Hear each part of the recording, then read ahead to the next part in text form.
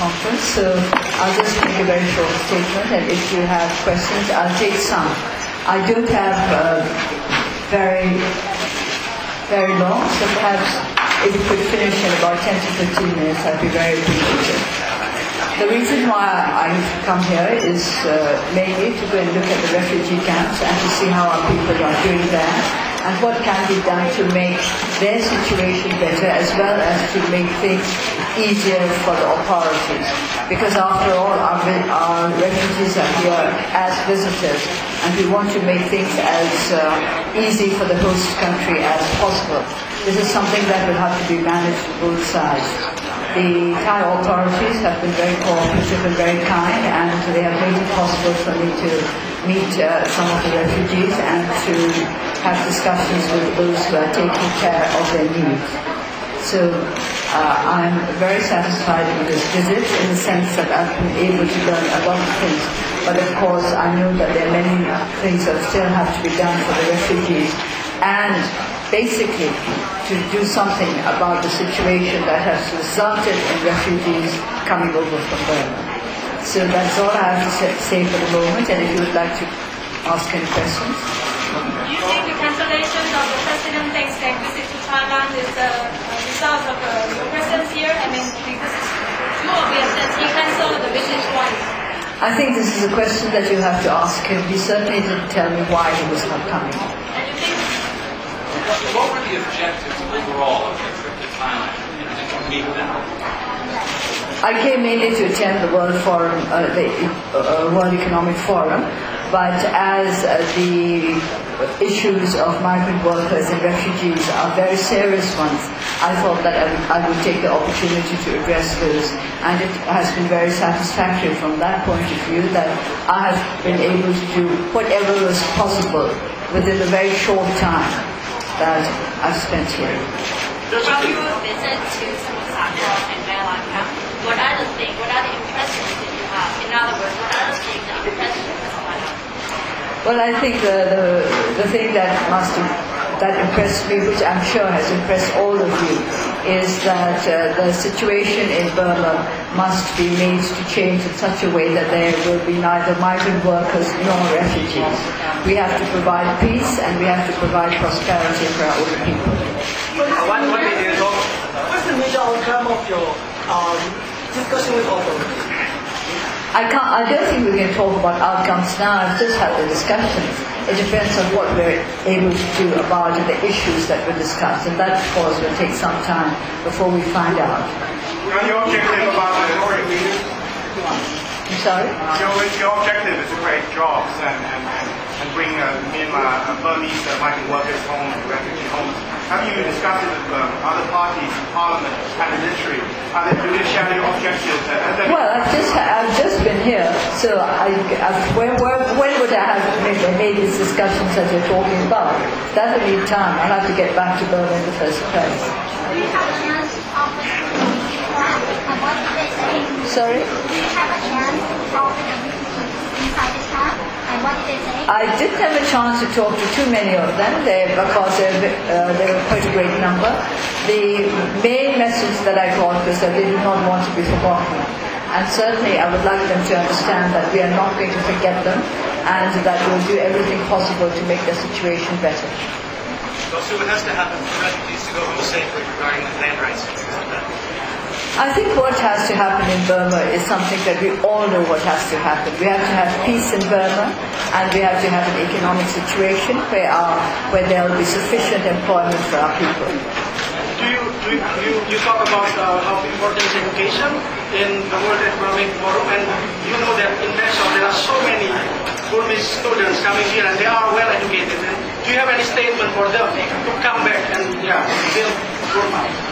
It's always up to, uh, to, the individual to decide whether or not they're going to come back to their countries. But what I would like to urge our young people to do is to look to the general prosperity of the country. If there's something to contribute, then they should do their best to contribute it. I'm very old-fashioned in the sense that I believe in a sense of duty, and I would like our young people to foster a sense of duty. Will you report back to the government in Burma your findings I do not have to report back to anybody as such because uh, these meetings that took place took place out of my own initiative. But certainly I will be discussing what I have seen here with very many people, not necessarily just those in government, but uh, my own political party and with members of our local media. It's such a, such a sensitive issue where the peace talks are ongoing with the government. Do you confer at all with the government before coming here to make sure that those efforts are not overlapping or efforts of the government? I do not see how our efforts could, should overlap because I was just studying conditions in the refugee camps. And of course, peace talks have to be conducted because peace, or rather lack of it, is the main reason why they are refugees. Also, you have seen the, the camps already. The donors are cutting the aid to the camps. So, what what will you uh, make plea for perhaps the donors I have spoken to the people who are looking after the welfare of the refugees in the camps, and uh, they have uh, explained to me that the donors are going to be cutting funds. So what I've suggested is that they should communicate with me and let me know which aspects of camp life are going to be hurt by the curtailing of funds. And I think we have to confer with the donor countries and the donor organizations and see what can be done to remedy the situation. I do not think it makes sense to cut funds without studying how the cutting of funds will affect the lives of the refugees. Because perhaps they think of uh, maybe they, they could return the refugees back. So, the fact is that the, the country is not ready. I don't think you really need to return refugees back because if conditions were right, refugees would go back of their own free will. Were you able to meet with minority leaders? I understand you were supposed to talk to them, but because of some scheduling issues, you were not able to do that. Well, we were not. I was not able to have meetings with minority leaders, with ethnic nationality leaders, but I've already met some of them in Rangoon, and I hope that uh, there will be more opportunities for me to meet them when they come to Burma for peace talks. Now, you met um, Burmese migrant workers and refugees here in Thailand. Do you have any plan in the future to meet uh, overseas, uh, Burmese overseas elsewhere, uh, refugees that have settled in a third country? It depends on whether I'm, I'm able to travel to that third country or not. And of course, it depends on whether the refugees are all collected in one place, or scattered all over the country.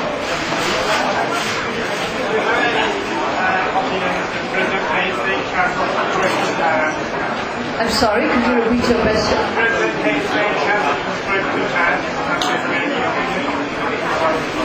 I don't really know why the trip was cancelled. It could be for very many reasons, and I think uh, it would be best for you to put the question to his office rather than to me.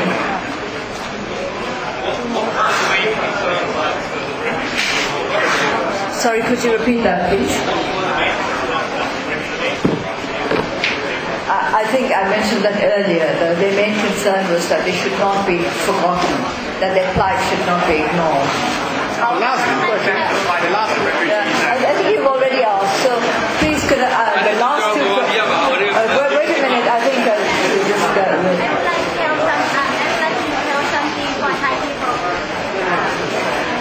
well, to the Thai people, first of all, I would like to thank them personally for the great warmth and hospitality with which they have welcomed me to this country, and I would also like to thank the members of the Thai admin- administration who have uh, worked, who have done everything possible to make this trip a very pleasant and a very smooth one.